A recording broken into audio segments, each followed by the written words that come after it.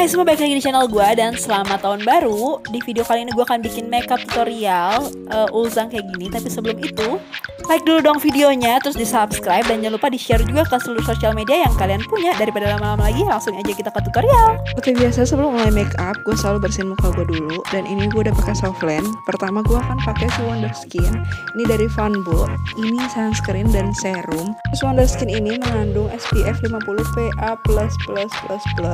Nah, ini bagus banget buat melindungi kulit kita dari paparan sinar matahari. Jangan lupa pakai dua ruas jari buat satu muka ya guys. Terus yang gue suka dari sunscreen ini adalah dia mudah meresap, nggak lengket, terus dia nggak bikin white cast guys. Jadi muka kalian nggak akan putih banget gitu loh. Kalian bisa lihat ya ini muka gue bener-bener nggak kelihatan kayak pakai topeng, malah kelihatan lebih moist dan glowing. Setelah itu gue bakalan tunggu sampai bener-bener ngeresep. Sambil nunggu, gue akan pakai si Scott mata dulu. Ini gue beli di Shopee, gue nggak tahu sih nggak ada merek cuman ini lumayan bagus menurut gue nah gue pakainya tuh uh, biar nyamain aja lipatan mata gue karena bener-bener gue nggak ada lipatan mata. Uh, ada cuman kecil gitu loh hehe. Setelah itu gue pakai kayak gini kalian bisa lihat aja di videonya ya. Setelah itu gue akan pakai lagi face mist dari Pixie ke seluruh muka. Karena gue pengen muka gue lebih uh, ready buat di makeup kalau udah tunggu sampai kering gue akan lanjut pakai si Pixie Make It Glow. Ini gue lupa yang shade berapa nanti gue tulis aja.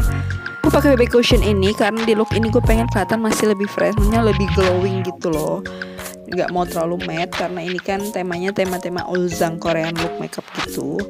Nah gue akan pakai dia dua kali karena kalau cuma sekali dia agak kurang sih buat nutupin si uh, bekas jerawat gue cuman ini oke okay banget sih covernya untuk ukuran BB cushion gue tap tap ya guys. Jangan digeser please. Sabar aja buat ngetap buat ngetap tap uh, si foundation ini si baby cushionnya ini sampai dia rata di seluruh muka. Terus kalau keputihan juga nggak masalah. Nanti kita bisa akalin pakai shading oke? Okay? nah jangan lupa juga sampai ke leher-leher.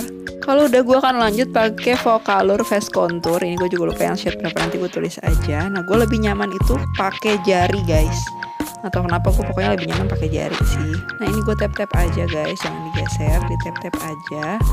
Ratain bener-bener sampai uh, sesuai yang kalian mau. Cuman juga nggak jangan terlalu gelap gitu kan nanti akan jadinya kelihatan kaku. Nah habis itu gue akan langsung tap tap juga pakai beauty blender buat ngeratain supaya dia nggak terlalu kaku banget gitu loh. Nah kalau udah kayak gini selesai. Kita gue akan pakai concealer dari makeover. Ini gue lupa shade berapa pokoknya nggak kelihatan. Nanti gue tulis aja. Pakainya sedikit sedikit aja guys karena di makeup ini butuh ketelitian. Inget ya kalian lebih baik pakai sedikit sedikit daripada pakai langsung kebanyakan.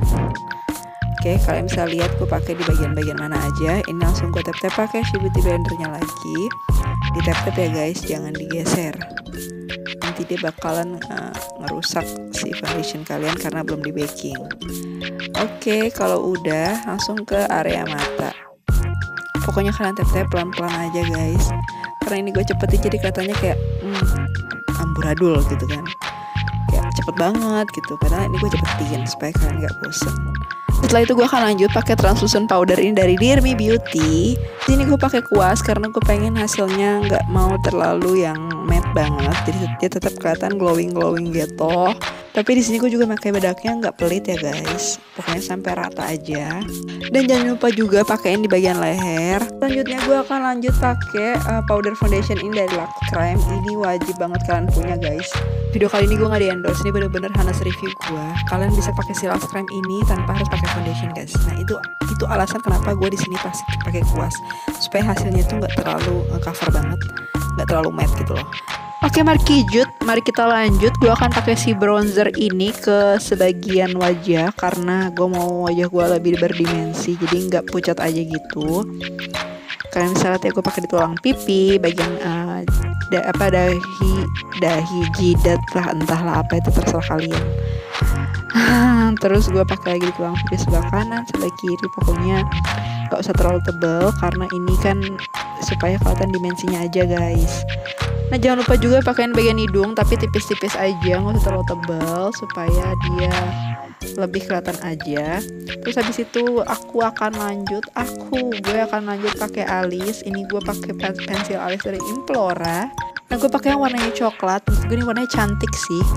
Nah buat kalian yang belum tahu ini harganya cuma 4000 Jadi kalau kalian lagi cari pensil alis dengan harga murah menurut gue ini oke. Okay.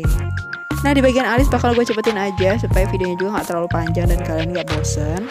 Nah buat kalian yang mau belajar bikin alis nanti gue akan taruh linknya karena gue udah pernah bikin videonya terpisah.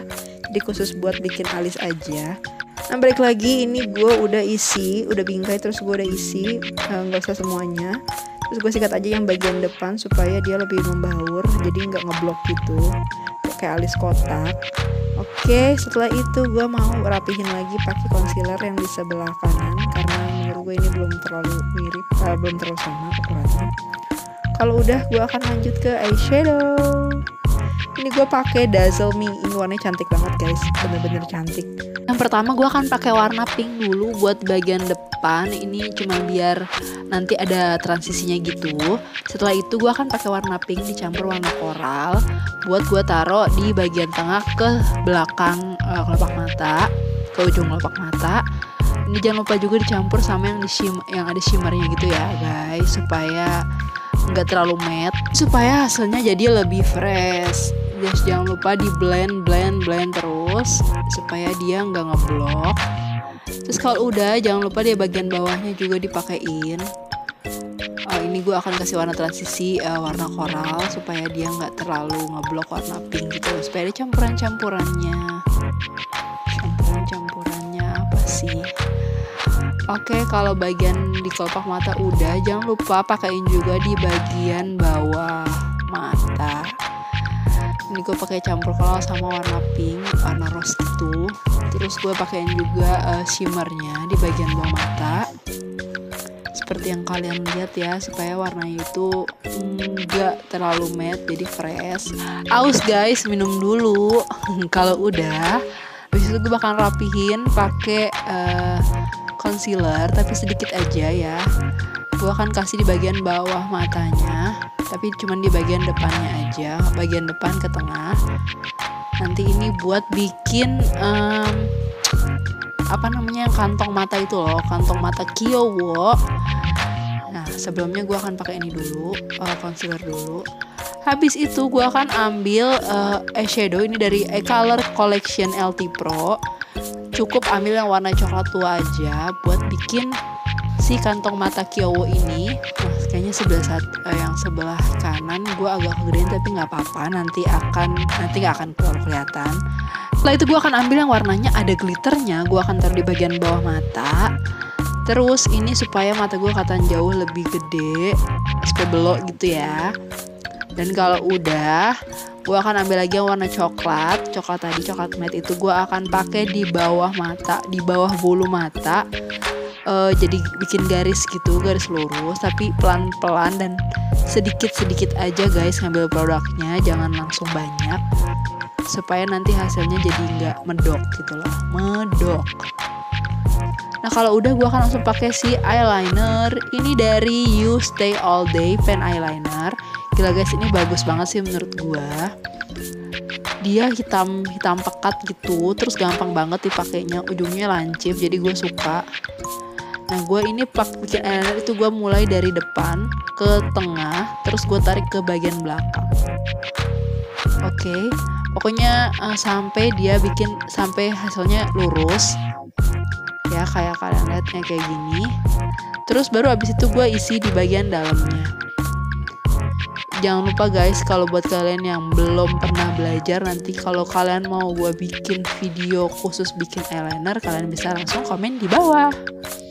Nah kalau udah gue bakalan terus bikin kayak gini sampai dia hasilnya rapi dan sesuai dengan yang gue mau. Kalau udah gue akan bikin di sebelahnya lagi dari depan ke tengah terus ke ujung. Pokoknya pelan-pelan aja guys, pakai perasaan. Ya. Nah, kalian lihat ya gampang banget ini eyelinernya dipakainya please guys ini gue nggak pakai sponsor ini bener-bener Hanas review karena gue pakai uh, sendiri. Ini mungkin kayaknya udah ketiga atau keempat gitu. Nah pokoknya gue bikin terus sampai rapi sampai sesuai yang uh, gue mau. Oke. Okay. dan gue di sini biasanya kalau bikin eyeliner itu selalu ngadep ke bawah. Kalau udah jadi kayak gini gue akan langsung pakai You Glam Fix Perfect perfect gak tuh? Perfect glam fix perfect bling lashes. Ini yang volume nomor 04 nih untuk pakai sehari-hari juga oke okay sih. Terus ini gue pakai lem bulu matanya juga dari yang glam fix. Uh, itu bagus sih menurut gue untuk harga murah 30 ribuan. Menurut gue itu worth it. Dan bisa kalian pakai buat ke sehari-hari. Terus dia juga nggak perih lemnya di mata. Ya ini kalau udah hasilnya kayak gini natural banget guys. Terus gue pakai eyeliner lagi buat di bagian uh, di depan. Apa ya namanya ya? Pokoknya buat bagian depan. Supaya bikin kesan lebih uh, seksi dan cat eye gitu kan. Nah pelan-pelan aja guys. Nah itu makanya gue bilang ini tuh main uh, ini tuh oke okay banget karena dia enak banget dipakainya. Oke okay, kalau udah sebelahnya lagi jangan lupa sama ya pelan-pelan aja bagian dalamnya juga tapi sedikit aja guys. Jangan sampai kena jangan sampai nusuk mata guys.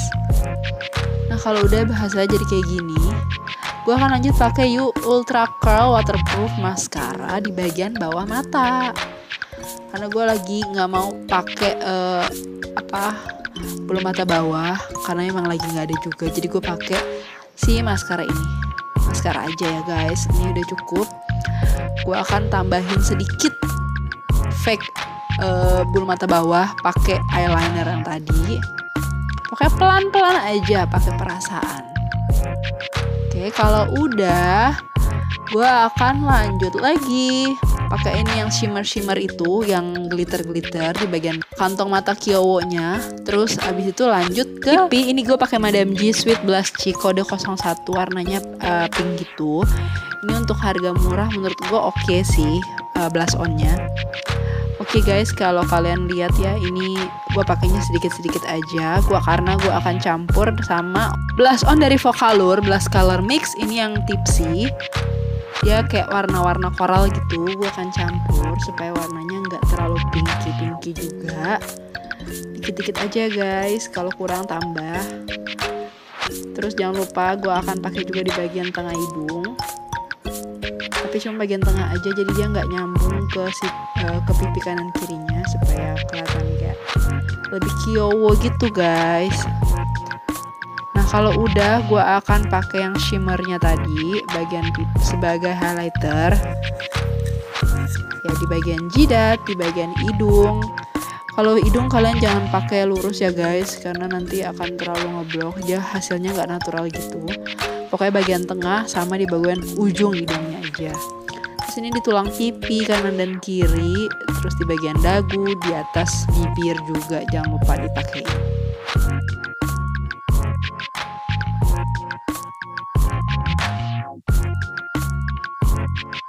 Oke, okay, the last but not least, ini gue pakai Implora Cheek and Lip Tint nomor 06 Pumpkin. Ini warnanya cantik banget, guys. Nah, buat yang cari lipstick atau lip tint murah ini juga bagus banget, guys, dipakai buat sehari-hari.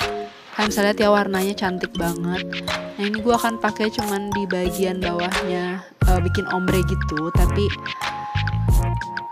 cuman pakai satu lip tint aja gitu ini gue pakein bagian samping-sampingnya supaya bikin dimensi bibir gue lebih lebar.